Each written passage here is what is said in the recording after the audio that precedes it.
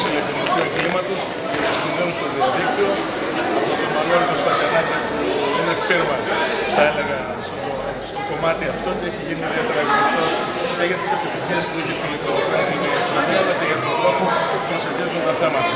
Όντως το αίσθημα ασφαλείας είναι ενδυναμωμένο και στην περιοχή μας αλλά και αλλού και αυτή η επίσκεψη θέλω να πιστεύω ότι θα βγάλει και θετικές ειδήσει.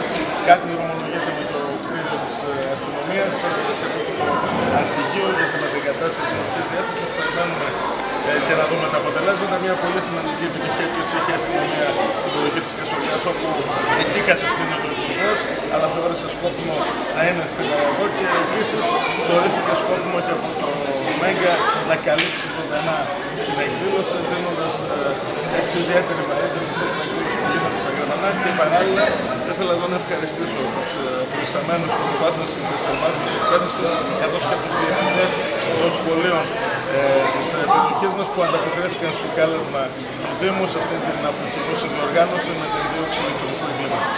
Υπάρχει δέσμευση του κ. Γκραντ ότι θέλει να βοηθήσει και να συμβάλλει να επιληθεί το θέμα με το σχολείο στη Φλάκη και το να μετασταγαστούν εκεί. Δεν θέλω να πω κάτι περισσότερο.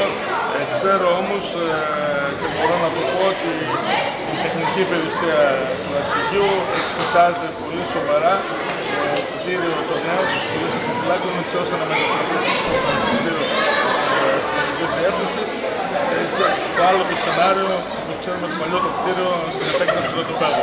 Νομίζω ότι αυτό το οποίο προτείναμε είναι το καλύτερο. Περιμένουμε τις, τις κινήσεις το επόμενο διάστημα που θα εξελιχθούν. Είμαστε αισιόδοξοι και βέβαια ότι θα δοθεί μια χωριστική λύση και στα δύο αυτά ζητήματα που τόσο πολύ απασχολούν την ε, περιοχή μας, την κοινωνία των γεγονών, αλλά παράλληλα θα έχουμε και το δρόμο μέσα από την σημερινή σχολή που θα δίνει διέξοδο για το νοσοκομείο, μια πια πιο κοντινή διέξοδο